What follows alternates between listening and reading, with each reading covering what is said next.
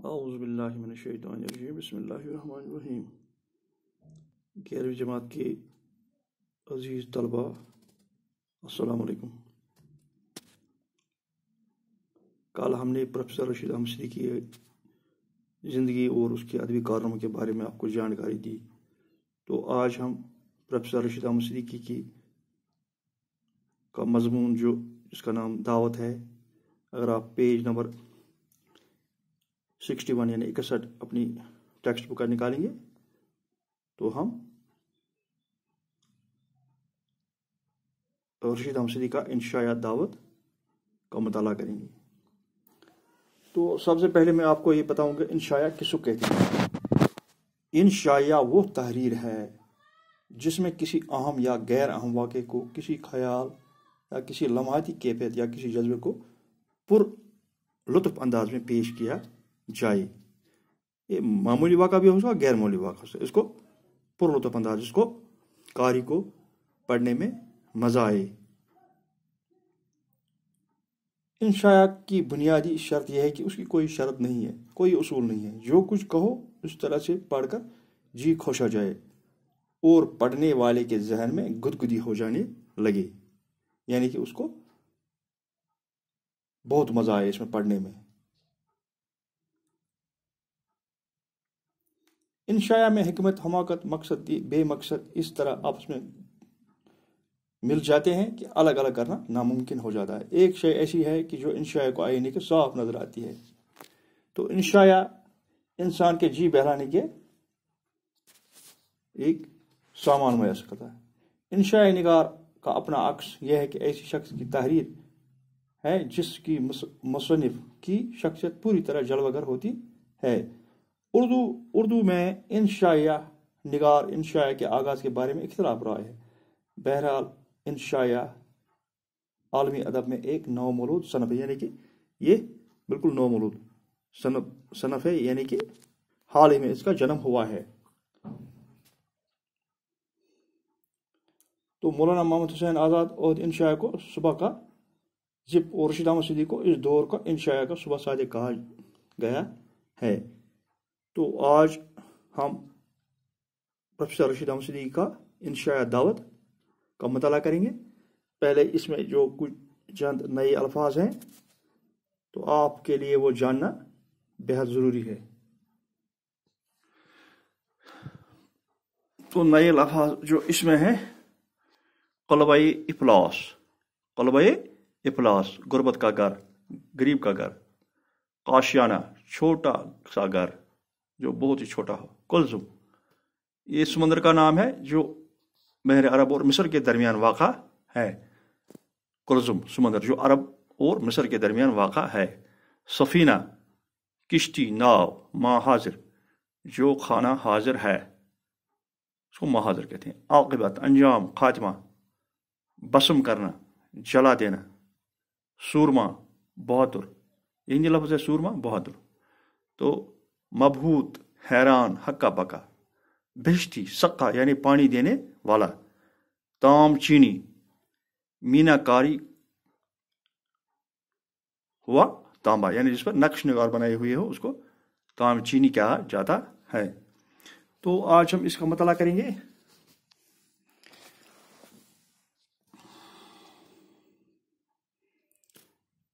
दावत, ये इंशाया है।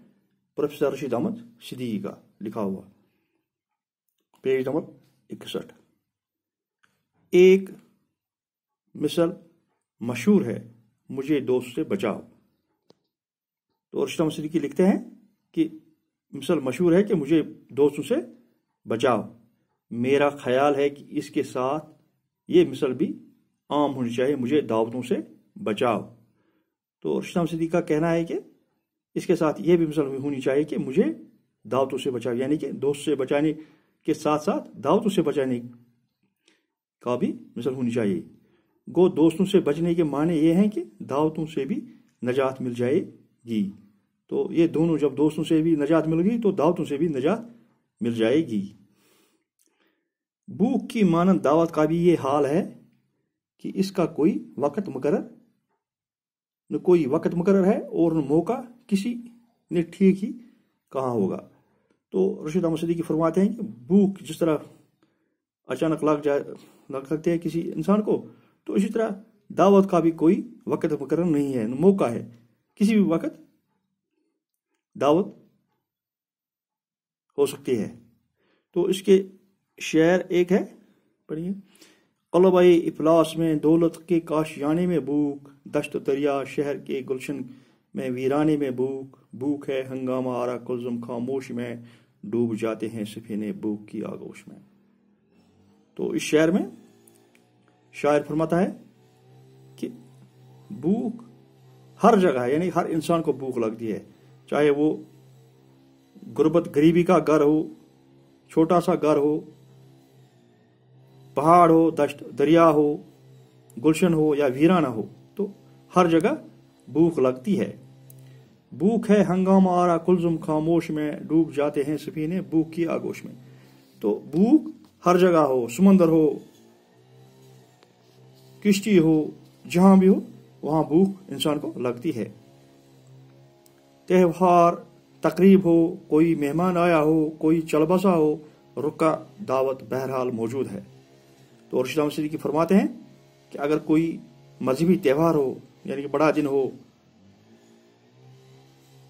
कोई मेहमान किसी को आए, कोई यहाँ इस दुनिया से चलबस ने रुखसत हुआ है, वफात पा चुका हो तो रुक दावत बहरहाल मौजूद है। तो हर वक्त दावत का इंतज़ाम किया जाता है, यानी रुका दावत बहरहाल मौजूद है, महाजर मौजूद है, यानी कि खाना हाजिर है, महाजर। और एक बुज़ुर्ग ने तो जोश में आकर इसकी भी फरमाइश कर दी। बराह करम तमाल महाजर फरमाइए। यानी कि उल्टा इसने बता दिया। बराह करम तनावुल महाजर फरमाइए। दावत में न जाए तो गुरूर या बेतवजी की शिकायत। जाए तो मैदा और आगबत दोनों खराब। तो रशीदा मसीदी की फरमाते हैं, दावत में न जाए तो दावत करने वाले को यह मालूम होता है कि ये बेत मेरी मुझे बेतवजी या गुरूर में इस शख्स को गुरूर है कि वो दावत में हाजिर नहीं हुआ तो जाए तो मैदा और अकबे दोनों खराब अगर जाएँगे तो मैदा खराब हो जाता है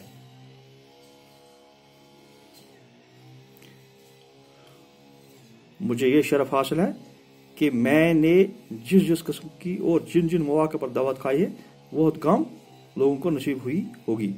तो रशीद अहमद सिद्दीकी फरमाते हैं कि मुझे जिस किस्म और जिन जिन मौका पर दावत खाने का मौका मिला तो लोगों को इस किस्म की दावत का मौका बहुत ही कम मिला होगा। सबसे पहली दावत मुझे खूब याद है। तो मुझे ये दावत बहुत खूब है, जब मैं सबसे पहली बार किसी दावत पर गया था। गो इसके ये मानी हरगिज नहीं कि, कि मेरे किसी बुज़ुर्ग की दावत रही और मुझे इसी उसूल पर बिन बुलाई के साथ ले गए जिस उसूल पर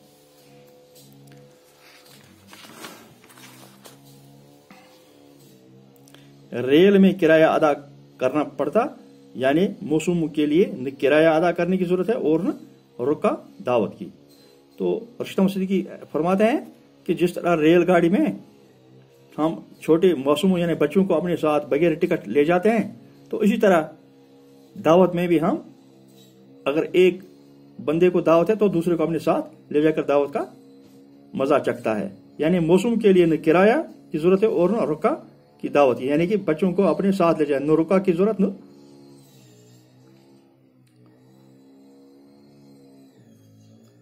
तो बैज रेलवे लाइन तो मुझे हाल मालूम नहीं। वहाँ भी गाड़ी दो सादों के हिसाब से मुफ़्त सफ़र किया जा सकता है।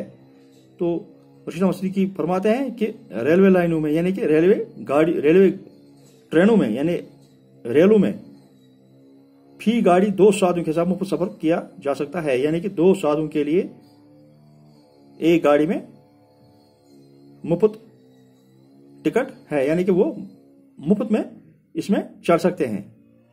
इधर से कोई टिकट कलेक्टर इस लाइन पर मामूर हुए।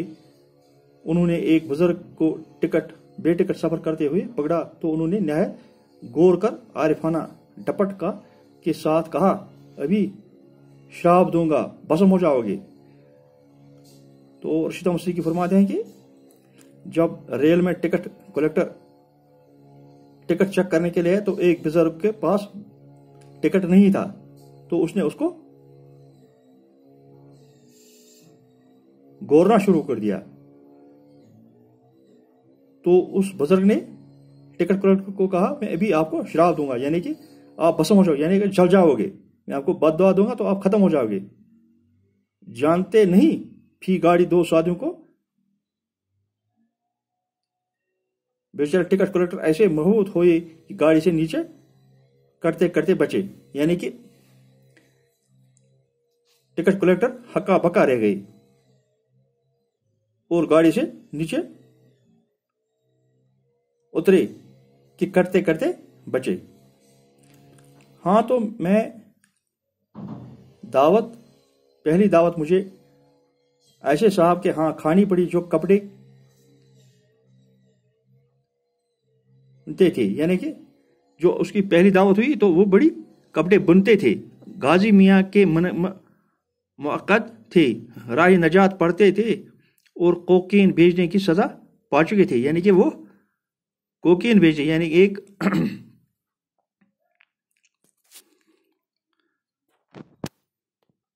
कोकीन एक नशावर दवा है जो भेजना एक जुर्म है।